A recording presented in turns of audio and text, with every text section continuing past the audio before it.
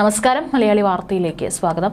ഏകദേശം പതിനൊന്ന് ദിവസത്തെ ജയിൽവാസത്തിന് ശേഷം പി പി ദിവ്യ ഇന്നലെയാണ് ജയിലിൽ നിന്ന് ജാമ്യം ലഭിച്ച് പുറത്തിറങ്ങിയത്.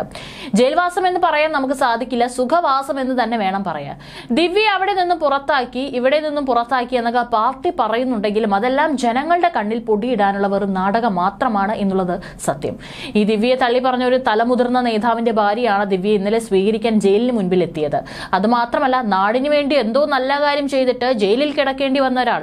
പുറത്തിറങ്ങുമ്പോൾ കൊടുക്കേണ്ട സ്വീകരണമാണ് ഇന്നലെ ദിവ്യയ്ക്ക് കണ്ണൂരിൽ ജയിലിന് പുറത്ത് ലഭിച്ചിരിക്കുന്നത്.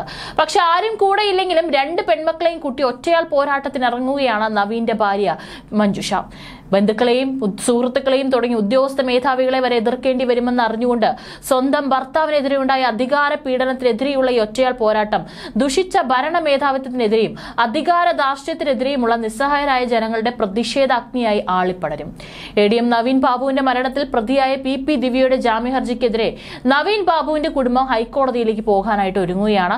ദിവ്യയുടെ ജാമ്യം റദ്ദാക്കണമെന്ന് ആവശ്യപ്പെട്ടാണ് കുടുംബം ഹൈക്കോടതിയെ സമീപിക്കുന്നത്. എസ് ഐ ടി അന്വേഷണം കാര്യക്ഷമമല്ലെന്ന് കോടതിയെ ബോധ്യപ്പെടുത്താനാണ് കുടുംബത്തിന്റെ നീക്കം. ഗൂഢാലോചന ഉൾപ്പെടെ അന്വേഷിക്കണമെന്നും കുടുംബം ആവശ്യപ്പെടുന്നു. ഇതിനിടെ തഹസിൽദാരുടെ ചുമതലയിൽ നിന്ന് ഒഴിവാക്കണമെന്ന് ആവശ്യപ്പെട്ട് മഞ്ജുഷ അപേക്ഷ നൽകി. കൂടിയ ഉത്തരവാദിത്തങ്ങൾ വഹിക്കാനുള്ള മാനസികാവസ്ഥയിലല്ല കലക്ടറേറ്റിലെ സീനിയർ സൂപ്രണ്ട് തസ്തികയിലേക്ക് ജോലി മാറ്റി നൽകണമെന്ന് മഞ്ജുഷ ആവശ്യപ്പെട്ടു. കോന്നി തഹസിൽദാരായ മഞ്ജുഷ നവീൻ ബാബുവിന്റെ മരണത്തെ തുടർന്ന് അവധിയിലാണ്. അടുത്ത മാസം തിരികെ ജോലിയിൽ പ്രവേശിക്കാനിരിക്കെയാണ് അപേക്ഷ നൽകിയത്.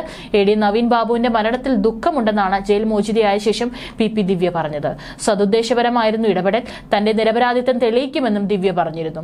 ഇന്നലെ കൂടുതൽ പ്രതികരിക്കാനില്ലെന്നായിരുന്നു നവീൻ ബാബുവിന്റെ ഭാര്യ മഞ്ജുഷ പറഞ്ഞത്. യാത്രയപ്പ് ചടങ്ങിലെ പി പി ദിവ്യയുടെ പ്രസംഗം നവീൻ ബാബുവിന്റെ ആത്മഹത്യക്ക് കാരണമായെന്നും കോടതിയെ ബോധ്യപ്പെടുത്തുന്നതിനുള്ള തെളിവുകൾ ഹാജരാക്കാനായിരിക്കും മഞ്ജുഷയുടെ അഭിഭാഷകൻ ശ്രമിക്കുക. ഒപ്പം കണ്ണൂർ കളക്ടറുടെ മൊഴി കളവാണെന്ന് തെളിയിക്കാനും അഭിഭാഷകൻ ശ്രമിക്കും. യാത്രയപ്പ് ചടങ്ങിന് ശേഷം നവീൻ ബാബു കളക്ടറെ കണ്ട് സംസാരിച്ചത് ആ ചടങ്ങിൽ സംഭവിച്ച കാര്യവുമായി ബന്ധപ്പെട്ടായിരിക്കുമെന്ന് പ്രതിഭാഗം അഭിഭാഷകൻ പറഞ്ഞിരുന്നു. തനിക്ക് തെറ്റുപറ്റിയെന്ന് എന്ന് നവീൻ ബാബു പറഞ്ഞതായുള്ള കളക്ടറുടെ മൊഴിയുടെ പൂർണമായ തെളിവ് കോടതിയിൽ ഹാജരാക്കാൻ പ്രതിഭാഗത്തിനും കഴിഞ്ഞിരുന്നില്ല. ഏതായാലും എന്തായിരിക്കും ഇനി പി പി ദിവ്യ പുറത്തിറങ്ങിയതിനു ശേഷം കേസിൽ നിർണായകമാവുന്ന വഴിത്തിരിവിലേക്ക് കൊണ്ടുപോകുന്ന കാര്യങ്ങൾ എന്നുള്ളതാണ് കേരളം ഉറ്റുനോക്കുന്നത്.